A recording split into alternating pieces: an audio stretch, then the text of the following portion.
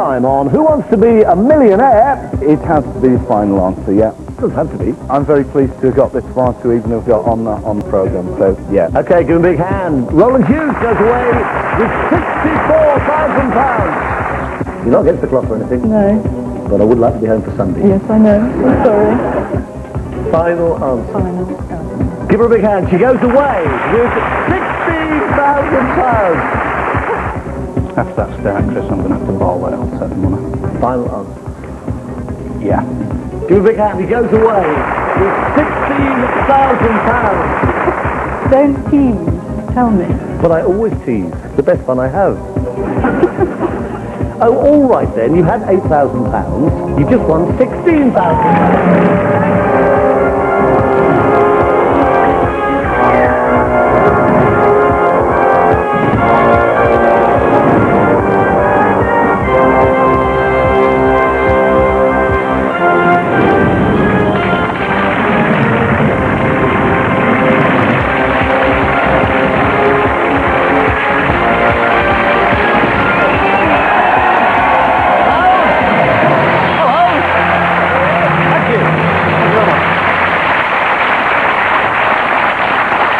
Hello, welcome to Monday Nights Who Wants to Be a Millionaire? At the end of Saturday Night Show, Judith Keppel here, a garden designer from Fulham, ended the show on £16,000. And the good news is she still has two lifelines remaining. Up there in the audience once again is daughter Rosie. Watching at home will be other daughter Sibylla, son Alexander, and the grandkids Milo 5 and Jack 4 again. After all the kids saw Judith on Saturday Night Show, they immediately rushed to her and said, thanks for not embarrassing us, Mummy. Now, Judith's mother was at church yesterday, Sunday, and of course the whole congregation knew that Judith had been on the show. Even the vicar, who was moved at the end of his sermon to say, we all ought now to pray for easy questions for Judith on tomorrow nights, who wants to be a millionaire.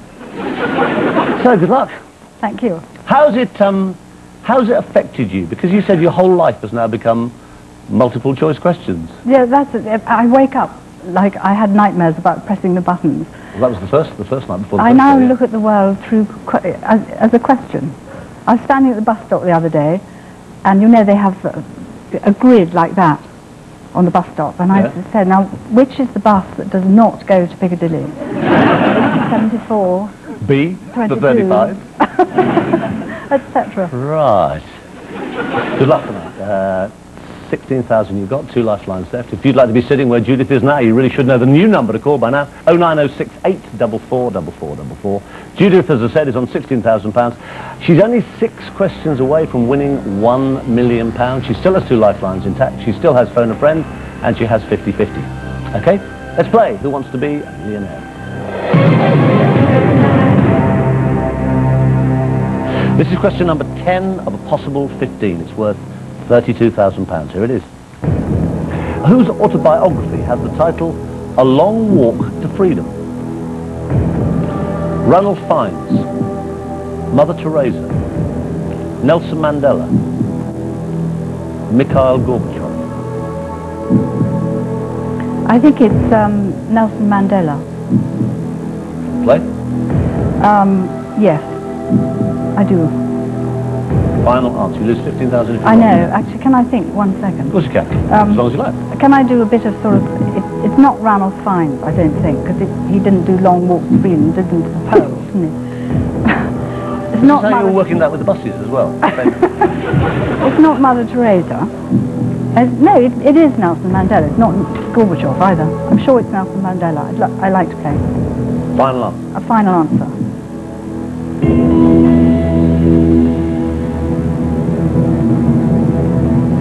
You just won £32,000.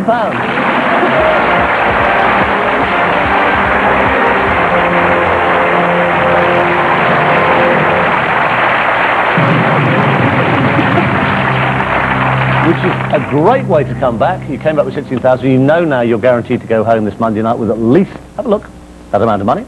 Touch it if you want. £32,000. But we don't want to give you that. we will give you that, Judith. You know that whatever happens, yeah. you go, don't jump, whatever happens, you go home with at least that amount of money. That's guaranteed, okay? How are you feeling now? Um, okay, thank You're you. calmer, aren't you, than you once? Much calmer. Yes, it's familiar. I'm, I'm, I'll come back next week, like. I'm feeling at home. Right, okay.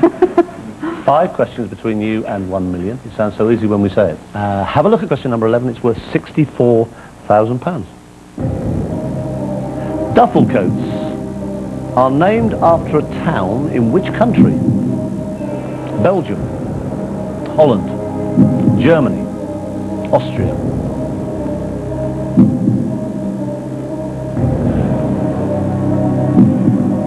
Take your time, you've got two lifelines.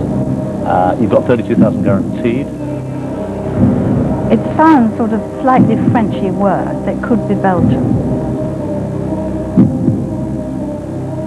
I have absolutely no idea, and I simply can't think of um, who on earth would know.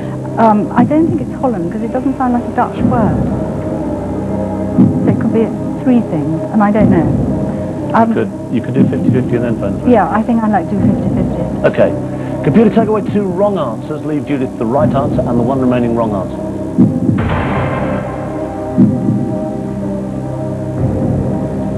One of those is worth £64,000.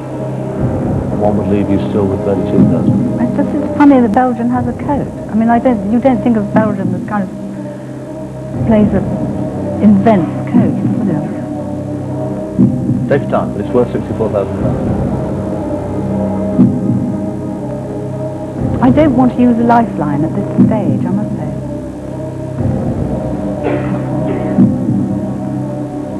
I think it's more likely to be Belgium.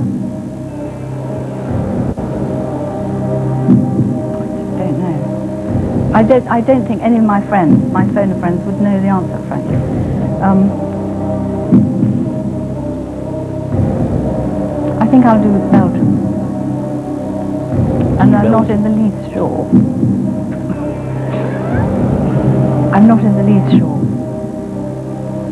Up to you. Not quite the easy questions the vicar was praying for, really, are they? No, the vicar hasn't done very well. um, it's just that duffel could uh, equally be duffel, couldn't it? We could, could be French, we could be Belgian. I, I think I'll try Belgium. And hope for the best. Final answer. Yeah, final answer.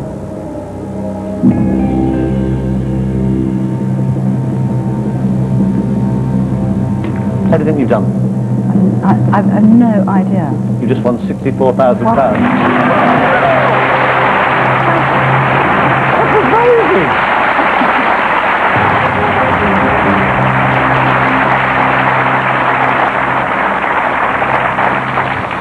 You just won sixty-four thousand pounds. It's named after the town of Duffel, which is in uh, which is in Belgium. Have a look at that. Very you still nice. kept that important lifeline as well. You've still got phone a friend. Yeah. We don't want to give you that. You've got sixty-four thousand at the moment. You're guaranteed thirty-two. You're four questions away from one million.